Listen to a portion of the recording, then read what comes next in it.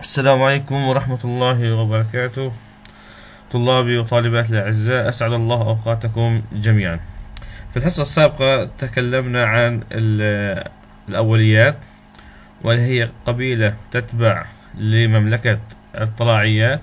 بقي قبيلة واحدة بنتكلم عنها ألا وهي الطلاعيات شبيهة الفطريات. حنتكلم عنها بشكل سريع وننتقل للدرس اللي بعديه الطلاعيات شبيهة الفطريات أو مسميها وكالة الفطريات الغروية. تعيش من خصائصها في التربة الرطبة اللي أنتم شايفين. تعيش على القطع الخشبية المتعفنة أوراق النباتات وعلى المواد العضوية المتحللة. وهي بالتالي تقوم بالتح... بتحليل هذه المواد العضوية بطريقة تشبه الطريقة التي تتغذى فيها الفطريات. وتبدو على هيئة كتل بروتوبلازمية لزجة. كأنها مخاطية بألوان مختلفة منها أبيض أخضر أصفر أحمر وتنتج أجساما ثمرية شبيهة بتركيب الفطريات. آه، وبالتالي سميت بالفطريات أو طلعيات شبيهة الفطريات. هذا فيما يخص آخر درس اللي هو الطلعيات. نبدأ اليوم في درس جديد ألا وهي المملكة أو مملكة الفطريات. مملكة الفطريات ونحن عرفنا إن العالم مذكر قسم الكائنات الحية لخمس ممالك البدائيات والطلاعيات والمملكة الفطرية والنباتات والحيوانات. اليوم حنتكلم عن مملكة الفطريات. ومملكة الفطريات يا جماعة آه، أكيد كلياتنا تعا- تعاملنا معها وشاهدنا بعض أنواع هذه الكائنات الحية. في الماضي شكلت الفطريات آه، معضلة في التصنيف. بعض العلماء اعتبرها نباتات وبعضهم اعتبرها حيوانات ولكن في النهاية توصلوا إلى آه، مملكة تصنيف خاص بها ألا وهي مملكة الفطريات عشان نف- نفهم هذا الكلام نبدأ في درس أو في نشاط سبعة خصائص الفطريات. سرت فلسطين بدعوة أمها لمساعدتها في تحضير المواد اللازمة لصناعة عجينة المعمول فأحضرت كميات مناسبة من الطحين والماء الدافئ والملح والسكر. تفقدت الأب المكونات وسألت فلسطين أين الخميرة؟ فتعجبت فلسطين من إضافة الخميرة إلى العجين. ساعد والدة فلسطين في الإجابة عن أسئلة ابنتها الآتية. بالمختصر آه، طالبة اسمها فلسطين ساعدت أمها في صناعة المعمول. آه، أحضرت المواد اللازمة اللي هو الطحين والماء الدافئ والملح والسكر ونسيت إحضار الخميرة. وهنا تعجبت آه، فلسطين لماذا نضيف الخميرة إلى العجين؟ عشان نس- آه، الف- نوضح هذه الفكرة نجاوب الأسئلة التالية. السؤال الأول ما أهمية إضافة كل من الخميرة والطحين للعجين؟ خلينا نشوف عندنا الجواب مع بعض. الخميرة طبعا من أجل أن يخمر العجين وإعطائه القوام المطلوب والنكهة المميزة وتعمل على انتفاخه.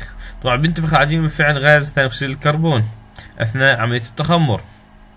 طبعا إن آه، ما استخدمنا الخميرة بيصبح الخبز صلب وقوامه صلب جدا وغير صالح للأكل. الطحين طبعا ليش بنضيفه الطحين طبعا هو وسط مهم لنمو فطر الخميرة أي أنه يتغذى على ال- الطحين أو على المواد السكرية الكربوهيدراتية الموجودة في الطحين. العوامل اثنين من العوامل التي ساعدت الخميرة على النمو. عندنا ثلاث عوامل مهمة وهذه طبعا مهمة لجميع الفطريات. الحرارة الغذاء والرطوبة. إذا اختفى عامل من هذه العوامل لا ينمو الفطر بجميع أشكاله. ثلاث لماذا تعد الخميرة من المكونات الحية؟ الجواب بسيط جدا لأنها تمتلك جميع خصائص الكائنات الحية من نمو وحركة وتكاثر وأيض وإخراج وما وتغذية. أو تغذية. أربعة إلى أي ممالك تنتمي الخميرة؟ أكيد إلى مملكة الفطريات فهي عبارة عن فطر ولكن فطر أحادي أو وحيد الخلية. خمسة ما طريقة تكاثر الخميرة في الظروف المناسبة. طبعا تتكاثر تكاثر لا جنسي بعملية تسمى التبرعم. هاي الصورة عندنا هان تبين لنا عملية التبرعم حيث ينمو أو يخرج من الخلية برعم صغير يكبر ثم يكبر حتى يصبح بهذا الشكل حجم أكبر ثم ينفصل بعد ذلك مكونا خليتين. ستة ما نوع التغذية في الخميرة. الفطريات بشكل عام حنتطرق لها التغذية فيها وأنواع التغذية ولكن الخميرة تتغذى تغذية رومية أي أنها تحلل المواد العضوية من أجل الحصول على الغذاء. باختصار هذا النشاط يتحدث عن الظروف الملائمة لنمو الخميرة وعن نوع التكاثر في الخميرة. والعلم في الفطريات هناك أنواع أو طرق تكاثر عديدة. سنتكلم عن بعضها لاحقا. تعد الخميرة من الكائنات حقيقية النواة وهذا يشمل جميع أنواع الفطريات. وحيدات الخلية وغير ذاتية التغذية. جميع الفطريات غير ذاتية التغذية ولكن توجد فطريات متعددة الخلايا وفطريات وحيدة الخلية. تتكاثر لا جنسيا مع التبرعم وتضاف الخميرة إلى العجين بهدف إكسابه نكهة مميزة تعمل على انتفاخه وبالتالي تعطيه القوام المطلوب. نشوف نشاط ثمانية.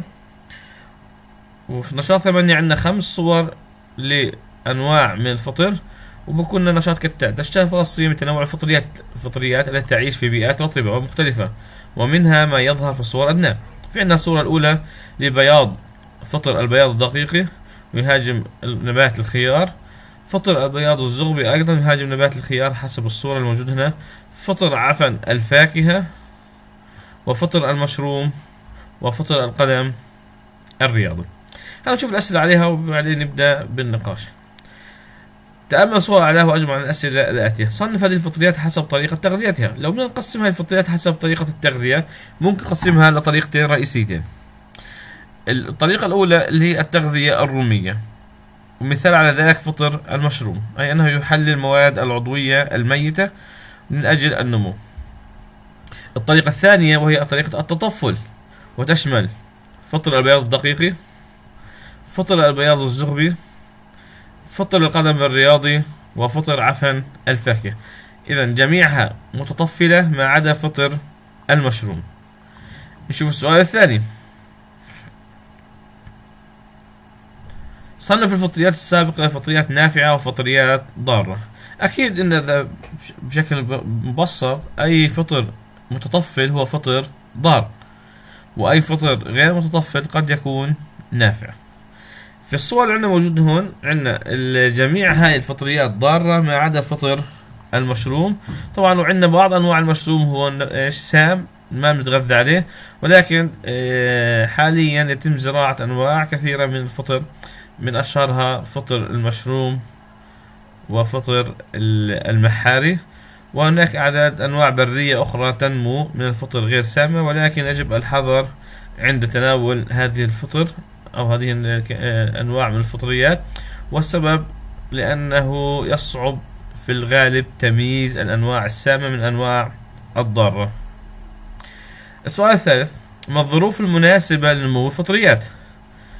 عندنا الظروف الغذاء توفر الغذاء المادة العضوية. اثنين الحرارة. وفي الغالب نلاحظ أن الفطريات تنمو برية طبيعيا في البرية في بداية فصل الشتاء. بسبب انخفاض درجة الحرارة وتوفر الرطوبة وبالتالي تصبح البيئة ملائمة لنمو الفطريات أما في الصيف مثلا لا نجد نمو الفطريات في الطبيعة إلا ضمن ظروف استثنائية. إيه، أما في حاليا بشكل تجاري يتم زراعة الفطر, الفطر ولكن بتوفير العوامل الثلاث غذاء مناسب حرارة مناسبة مضبوطة ورطوبة معينة. أربعة كيف يمكن أن نقي أنفسنا من الفطريات الضارة؟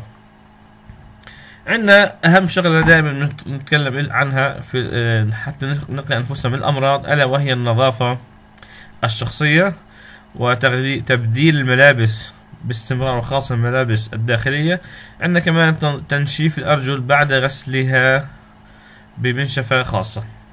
وبت... وأيضا آه، يجب آه، تنشيف الماء ما بين أصابع القدم.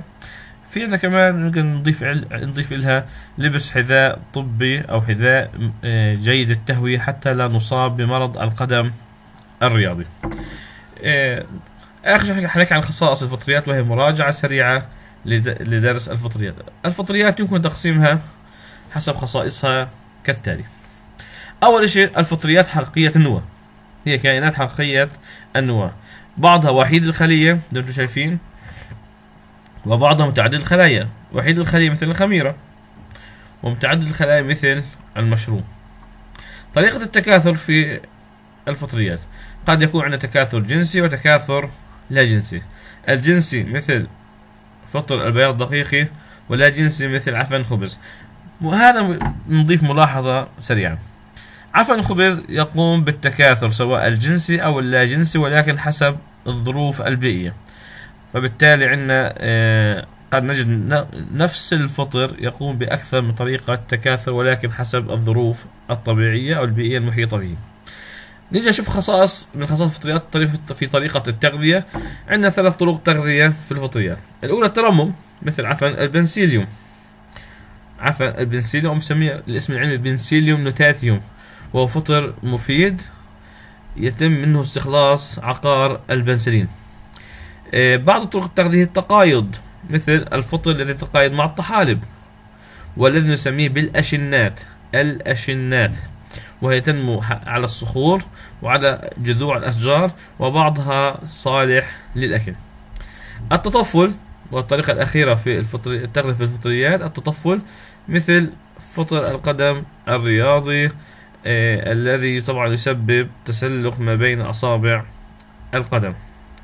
هيك إحنا بنكون يا جماعة آه خلصنا درس الفطريات ويعطيكم العافية.